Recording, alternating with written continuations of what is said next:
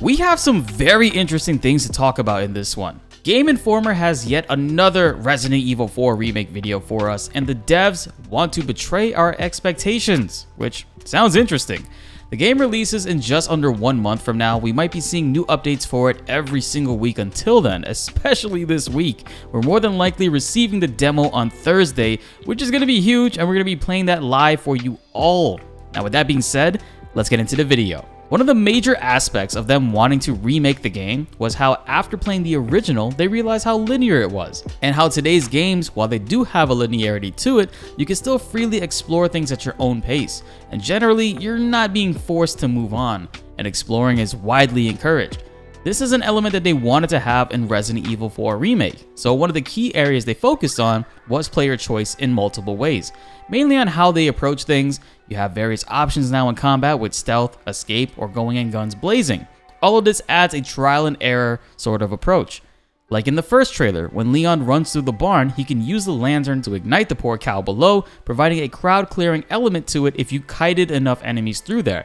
There are also branching paths and multiple ways to access different areas, very early on too. You can discover these simply by exploring and it opens up new routes. RPG fans are gonna love this one. I myself spent extra time just running around corners to find every single little thing that I can, whether items or secrets. I'm aiming for everything.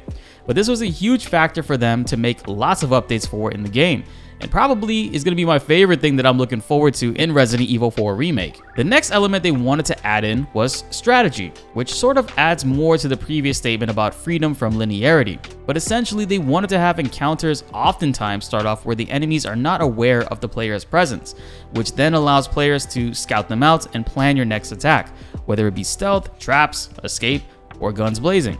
This offers multiple options for various styles of play for each player. You can now freely choose to do one or the other, and nothing seems to be forced. Outside of boss fights, I imagine. The bolt thrower weapon was a big factor for this, which allows you to do stealth takedown on enemies from far away and they won't know which direction this was fired from due to it being silent, which is a great element to the stealth strategy. I plan to do a stealth playthrough, a knife playthrough, an action playthrough, you name it. Comment below the craziest runs you guys would love to see me do. I know in the old game there was some wild stuff you could do. I've seen Tiffany Lockhart run through the entire game with only eggs in her attache case. Shout out to Tiffany. Another big element that the devs want you guys to know is to make sure that you're subscribed and hit that notification bell. Only 12% of you guys who watch and love the videos are currently subbed. Let's raise that even higher and make sure you guys are all up to date. Our channel's been trending, and naturally with that, new viewers are watching and the sub percentage is dropping. I believe in you guys. Together we can accomplish anything. Hit that like button. Let's get this video to a thousand likes to continue to spread the hype because we are less than three weeks away from Resident Evil 4 Remake being out and ready for all of us to play. No, but really, another key element for them was designing the remake from ever feeling repetitive. You're constantly doing new things from scene to scene alongside the big action moments and traversing the world. They wanted the game to never have a dull or boring moment, so it's a big focus and a core characteristic for them in this game.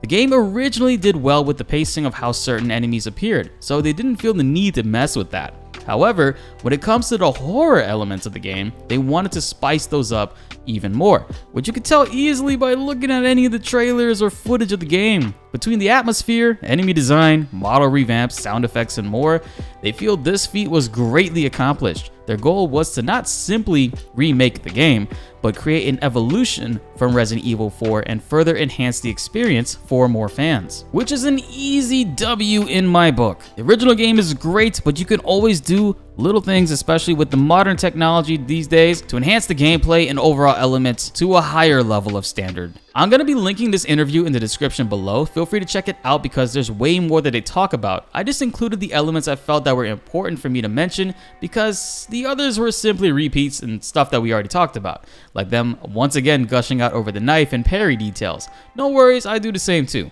And finally, it's come up that the devs badly want Resident Evil 4 Remake to betray our expectations, which is an interesting quote, and Final Fantasy VII Remake fans will probably have hot flashes hearing that. but actually, I think what it means is totally different. They want the game to be simultaneously fresh, yet familiar. Their aim is to betray your expectations in the best way possible, while respecting the feel of the original game. This to me means that they want to have fans of the original also love this equally if not more, so they took extra precautions to change up elements in the best ways possible. but still retain that original charm and feel that the original game had, which we all fell in love with, while also still having new surprises that don't take away or hurt elements from the original game. It's a great statement in my opinion, and if one thing is apparent from all these new gameplay footages and interviews that they've been doing, they absolutely love the original game and are trying to create something special that old and new fans will love equally, if not more. Resident Evil 4 Remake is shaping up to be a banger, guys. Between this and Final Fantasy 16, my heart is absolutely torn for Game of the Year.